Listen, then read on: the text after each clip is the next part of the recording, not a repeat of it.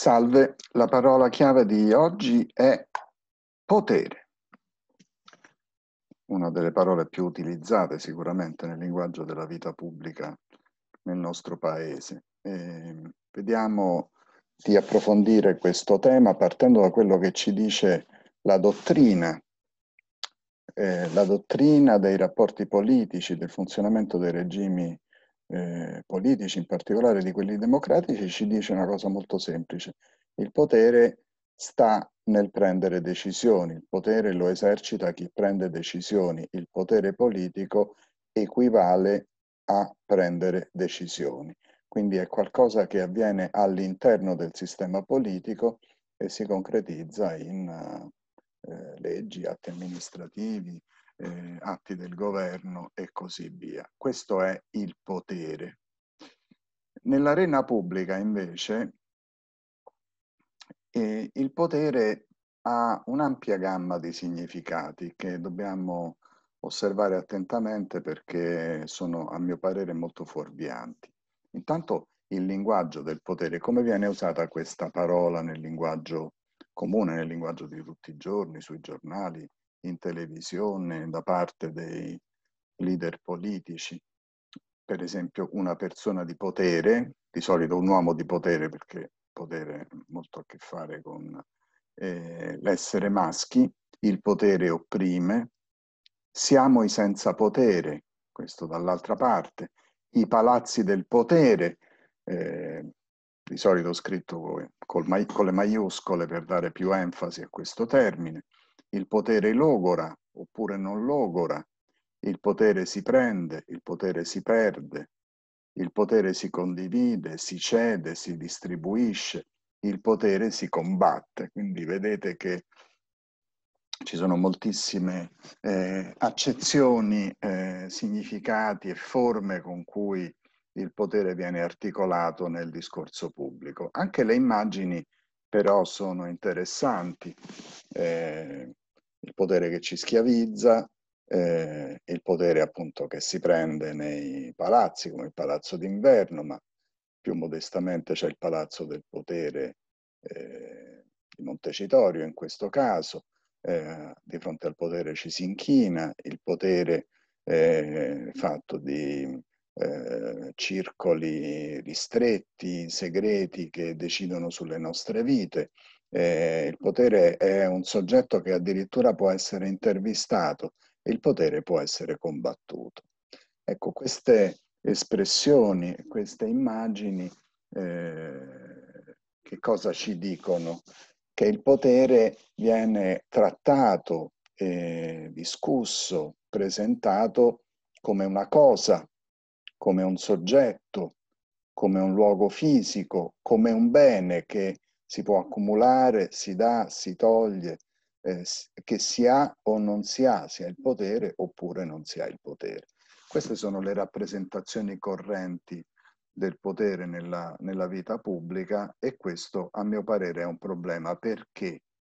Perché quando ci si va a chiedere eh, i cittadini col potere che ci hanno a che fare, col potere politico così inteso che ci hanno a che fare, beh, per la dottrina eh, i cittadini votano, chiedono attraverso il voto in altre forme, protestano, eh, esercitano pressione, cioè fanno lobbying perché i loro interessi legittimi vengano presi in considerazione, cercano di farsi ascoltare da chi esercita il potere, cioè da chi prende le decisioni.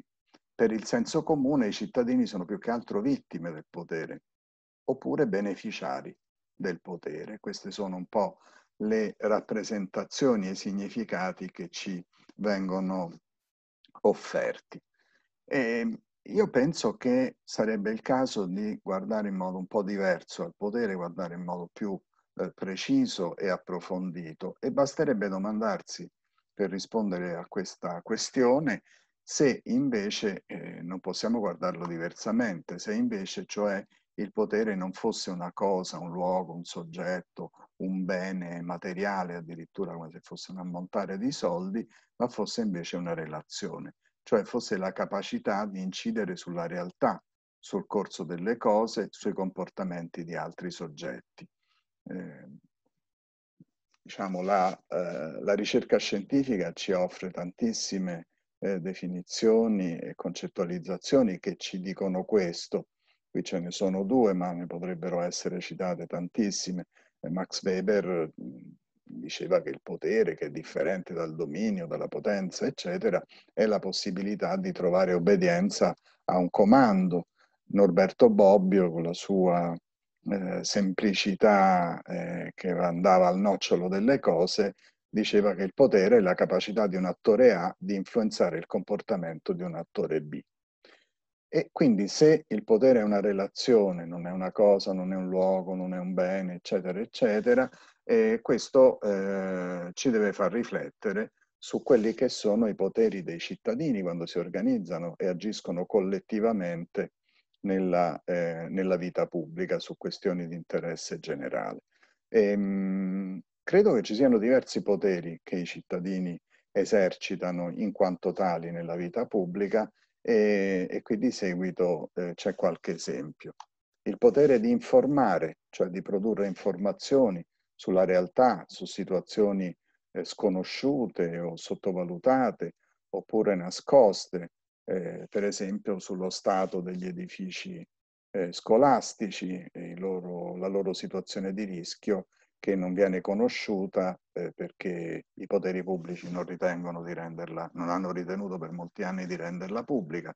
I cittadini producono informazioni, pensate alla terra dei fuochi, e a quello che è emerso nella Terra dei Fuochi grazie all'iniziativa civica.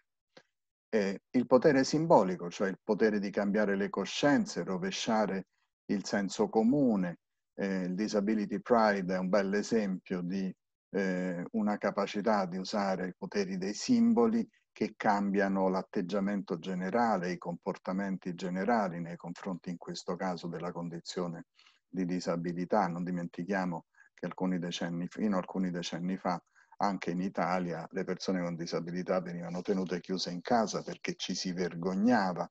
Eh, questo significato si è completamente rovesciato grazie all'esercizio del potere simbolico. Il potere materiale, aprire porte, abbattere barriere, per esempio barriere architettoniche, beh magari non fatelo col piccone, si può fare anche in altri modi, creare strutture, organizzare servizi, eh, di tutti i generi, come quelli ad esempio che riguardano le donne a rischio di violenza o le persone in condizioni appunto di disabilità, e le persone senza dimora e così via. Eh, potere materiale quindi. Potere istituzionale, far funzionare le istituzioni secondo la loro missione e non secondo altre logiche. Ci potrebbero essere tanti esempi, dall'organizzazione dei servizi, gli orari degli uffici, ma io voglio fare qui un esempio più, più rilevante, eh, quello delle associazioni delle vittime delle stragi.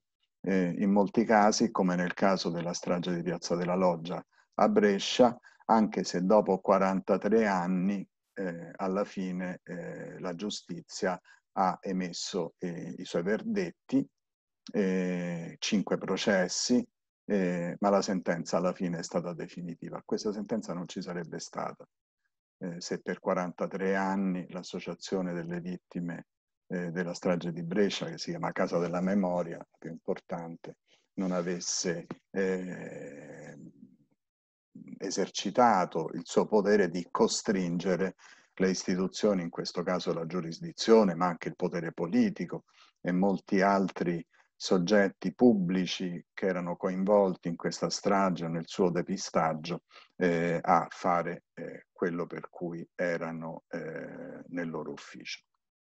Potere di partnership, cioè un potere di imporre una unità di intenti per fronteggiare problemi pubblici.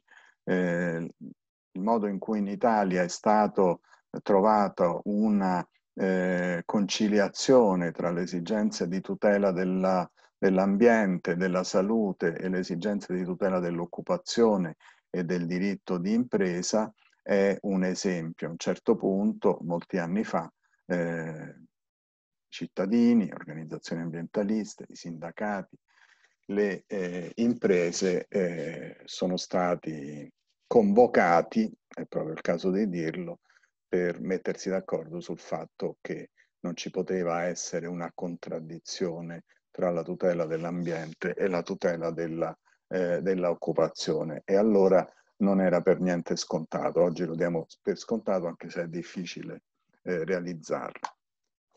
Potere di legittimare. Eh, quando i cittadini si organizzano, operano nella scena pubblica, godono di un alto livello di fiducia pubblica, come dimostrano tutte le ricerche, e questo dà loro un potere di legittimare, delegittimare soggetti, comportamenti, situazioni. È la ragione per cui le amministrazioni, che pure sarebbero legittimate dal voto eh, degli elettori, cercano eh, di intrecciare relazioni con eh, le organizzazioni di cittadini, è la stessa ragione per cui lo fanno anche le imprese private attraverso attività più o meno serie di eh, relazioni con, eh, con le forme organizzate di cittadinanza. Abbiamo quindi di fronte delle azioni che cambiano la realtà, le possiamo definire in questo modo, cioè delle forme di esercizio di poteri che cambiano la realtà. Quello che è importante rilevare a questo proposito è che queste azioni nella gran parte dei casi non richiedono autorizzazioni. Questi poteri che i cittadini esercitano non sono poteri derivati da qualche altro potere, delegati da qualche altro potere, ma sono poteri propri. I cittadini li esercitano in quanto esistono nella scena pubblica come soggetti che si uniscono, si organizzano per molto o per poco tempo, per un obiettivo enorme o per piccoli eh, obiettivi eh, ma eh, questa capacità di eh, incidere sul corso delle cose, sui comportamenti di altri soggetti, è una qualità che è intrinseca a questo fenomeno. E quello che voglio sottolineare, mentre nelle rappresentazioni pubbliche, anche nella dottrina, l'esercizio del potere è, è correlato sempre alla eh, disponibilità di risorse, che siano risorse economiche, che siano risorse eh, come quelle militari legate all'ordine pubblico e alla eh, minaccia di usare la forza se non si viene obbediti, eh, o la burocrazia che dovrebbe organizzare la vita pubblica, ma anche il potere dei media di produrre informazioni, ecco, questi poteri vengono esercitati senza queste risorse o per lo più eh, senza, eh, senza queste risorse. Sono poteri propri, questa è la cosa importante. Per concludere, beh, possiamo dire semplicemente che eh, se ci fossero, se il potere fosse fisicamente collocato in palazzi da conquistare, come forse era cento anni fa o quando o era anche eh, più, in tempi più ravvicinati, quando per fare un colpo di Stato bastava prendere 3-4 posti chiave eh, della vita che regolavano la vita del paese, adesso non ci sono più palazzi da conquistare. Se ci fossero forse sarebbe più semplice, ma questo è anche un vantaggio, un'opportunità eh, nella società di oggi in cui il potere non è fatto di palazzi da conquistare, eh, c'è molto più spazio, ci sono molte più opportunità e eh, possibilità di effettività, come gli esempi che ho dato ci dicono di esercizio di poteri da parte dei cittadini. Questo è tutto per oggi. Grazie.